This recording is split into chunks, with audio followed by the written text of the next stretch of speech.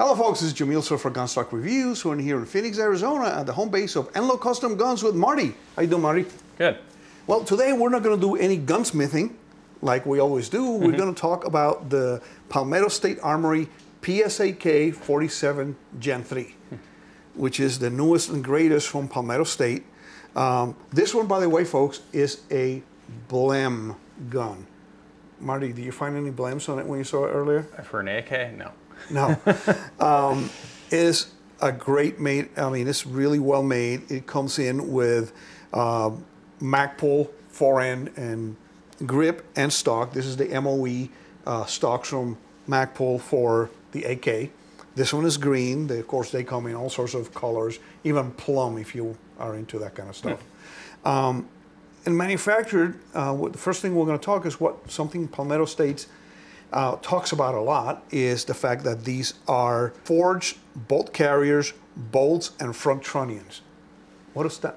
What difference does that, does that make? How, how high is the quality of material that's going in there, right? So uh, if it's machined from a billet or let's say a cast, right? So casting is one of those things that's notori notoriously difficult uh, for those who uh, are getting into it for the first time, uh, especially uh, you know, uh, you know, we, we talk about Ruger. Ruger is one of the best casting manufacturers in the world, right? Yes. They, they uh-huh. make some of the best stuff out there, uh, but you know, even they can have some amount of voids where when the metal is poured into their mold, you can have little oxygen bubbles or something happen where the metal cools too quickly and you get voids in the cast, right?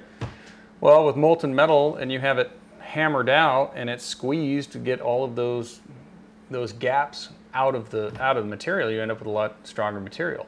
And with a forging, I mean, you're ending up with a with a higher quality, solid piece of metal. Mm-hmm. So I mean, yeah, that, that and, and they can forge it to shape. That's another thing. So it, machining it to shape out of like say a bullet, a billet, like a solid piece of metal, they can machine it. It just takes a long time, right? Like. Uh, you know, famously, the, the early AKs were their their receivers were machined from one solid piece of metal not anymore because it's it's wasteful, right? You know, mm-hmm. it's they're prized, but you know, it, it took it took a long time just even to make that.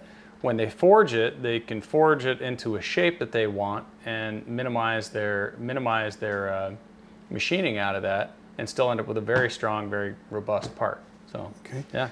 We have here in our table uh, Chinese Polytech mm-hmm. from the 80s because back in the and you t- were telling me earlier, making me feel old because I remember when these came out in the 80s and you were in grade school, most likely. More than likely, yeah. Okay, so um, the original AK started coming in in the 80s. Uh, Polytech, Norinco, and mm-hmm. all those companies were bringing in AKs because they understood that there was a market in the U.S. Mm-hmm. for semi-auto versions of the, you know, their the machine guns, yeah. so the AK. Yeah. Um, and of course, these bring a ton of money. Uh, they're bringing a ton of money. This one is a double underfolder. It has it underfolds in the stock and on the bayonet. Mm-hmm. And we find a lot of machining marks and mm-hmm. sanding mm-hmm. marks and belt sander marks on it mm-hmm. from when it was being made. And this one, for being such a fraction of a price of what this one will cost you, is a really, really good investment. Really good shooter too. Yeah we, we took it to the range, and other than the fact that I can't see the front sight because the notch is so small, I might have you later machine the notch a little wider hmm, okay. for me, and then we'll put in that uh, TRU-GLO front sight okay. so I can actually see it. Mm-hmm. Because I was at the range, and we were like probably 10 yards, and the target was black, and the black on black on black. I, I had to aim higher so I could get some tan on the, on the target, and then find the notch and find the front sight and then come down again. I know some people talk about, oh, that the AKs are not precise, are not accurate. Is that true?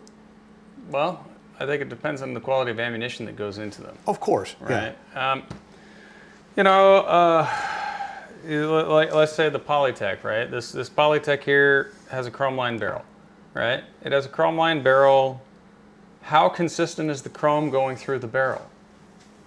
I mean, is there thickness variation, right? How much how much is interfering with that bullet as it travels down the barrel? How much is getting sliced off by by uh, let's say width differentials in that in that chrome, right? You know, uh, so yeah, I mean it's it's hard and it's good for corrosive ammunition, but uh, yeah, you might you might see a problem as a result. And then of course, you know, there's powder variances and headspace variances, right? So uh, the the gun is designed to operate with an extra amount of space, right? That extra amount of slop means that okay, yeah, it'll run with dirt in it, but it'll also it, it it's it, it's got to it's got to make up for that somehow, and that's usually where you see an accuracy loss. It's not to say that you can't shoot one accurately, but most of the time they they're, were never built to be a precision gun. That's right. They were never meant to be that.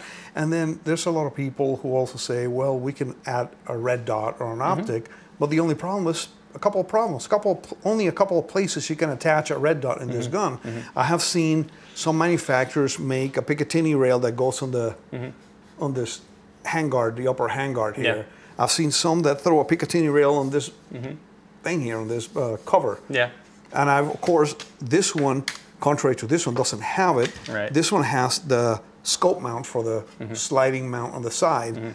And this is about the most accurate that I could find, but then you have to take it on and off, on and off. How are you guarantee you keeping zero when you take it on and off all right. the time? Right. Uh, this is not exactly a gun, so you can put a scope and you're going to be shooting at 600 meters Mm-hmm. and expect to do a sub MOA, you know, Well- results with it. Not not everybody needs a sub MOA gun for shooting an AK, right? An AK is not. If you're if you're shooting sub MOA, most of the time you're in some sort of resting position. You're some you're, you're on a bench, you're on the ground, prone. This is this is not a gun made to do that. This is a gun to be, you know, in your hands shooting. Mm-hmm. And I it's mean, a combat firearm. it's meant to it's meant to shoot at. Uh, it's meant to shoot at the good guys. That's because it's a bad guy gun. But at the same time, uh, you know, uh, it, it it has to hit between two shoulders or a headshot. And well, at 100 yards, you know what is it? Uh, you know, at 100 yards, it basically has to hit a four-inch pie, right? Four MOA is a pretty decent standard for for a combat gun. Right now, will the AK hold that?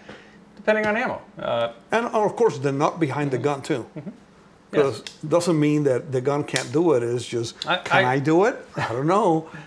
I, I've seen plenty of people who've made claims, and, and not say that I, I don't believe them. Uh, In fact, I believe them wholeheartedly that uh, you know these can be a, a one MOA gun. It's just that they weren't really ever meant to be that. You know. No. With this right here, I don't know a whole lot about them, but as far as uh, the quality of the gun, it looks its build quality looks very very good. Um, it, it, it's a nice gun, and, and uh, one of the one of the newer things that you might run into is that uh, Amer- American-made barrels are usually machined pretty well. Um, and having said that, you know, let's say talk about the variances in chrome lining. Well, uh, I don't know for certain, but I do know a lot of guys have uh, started running nitride heat-treated barrels. And if you have a nitride heat nitride heat-treated barrel, uh, you have the hardness of chrome with the uh, you, you, you have the hardness of chrome with the consistency of your original barrel. So that's that's a, that's a nice thing about it, and uh, you know we'll have to. I, I would like to know if they're nitrided because a lot of I know a lot of guys are doing that now. Um, but that that would only be to their benefit. But as far as the the overall look of the gun, even if it's not nitrided heat treated, it's pretty nice. Um, you know, I, I pulled it apart beforehand. I was taking a look at just some of the forged parts, and uh, uh, overall, the feel of the gun's a lot nicer. I'm not a big fan of the double underfolder. I'm especially not a fan of the underfolder because it, I, I like to cheek weld. You know, the Magpul furniture on that thing i- is, very helpful for that. Um, it's very comfortable. Um, and as far as uh, an AK build goes, I mean, uh, yeah, I, I said you, I want one. Okay. yeah, and that's what you told me before Yeah. that you wanted one, and yeah, I mean Palmetto State has these on and off because they sell out so fast. Okay, so you guys want to purchase one of these? We're going to try to get not in this platform, of course, but if you hit Gunstock Reviews um, and .com, and if you hit um, Gunstock Reviews Facebook page, we'll try to throw some links of for Palmetto State. Uh, we Gunstock Reviews are affiliates with Palmetto State, and we make a little bit of money, not much, but enough money to to come over and buy Marty some breakfast once in a while. so, and that's what we want. We want to you know want to bring you guys um, good product and show you good product. Um, cool thing about the um, it, uh, the M-Lock. Magpul that has the MOE um, attachment points, um, M-Lock attachment points, which is kind of cool. So you can hang stuff on it. Yeah. And the stock is pretty comfortable, isn't it? Yeah, it is. Yeah. You know, for a, for a, for a rifle this small and all that is just gives you a nice cheek weld. Um, like I said before, the only thing I didn't like is the fact I couldn't see the front sight. Oh, guys, if you're like me, that you want to be a purist, one bad thing about it, it doesn't come with a cleaning rod. For whatever reason, they don't include the cleaning rod, but it's ready for it. It has all the holes drilled and the hole in the stock. So you can go to places like Gun Parts and get a cleaning rod for eight bucks. So I'm gonna go ahead and order, place an order to Gun Parts, parts and order a couple of other things uh, for different guns, and I'm gonna include a cleaning rod in there. So, you know, forge parts, good. Build, Yeah. good. Good. Yeah. Mac Magpul parts, good. Price, double good. Yeah. Yeah. So, and if you, I mean, honestly, you do not need to buy, not that I'm pushing you away from buying the more expensive parts, the, the uh, Blem guns for the price. You can't beat that. That, that, that thing, that thing, uh, I've seen guns with more handling marks coming out of gun stores than I have out of, out of that one right there. That one's in very good shape. Well, thanks, Marty. Uh, appreciate your help, of course. And folks, again, thanks for watching. Please remain healthy, be safe, and have fun at the range. Thank you for watching Gunstock Reviews. Please visit our website at www.gunstockreviews.com for more exclusive content. Please visit our Patreon page at www.patreon.com slash gunstockreviews. Your contributions would be greatly appreciated and help us grow our selections and frequency of videos.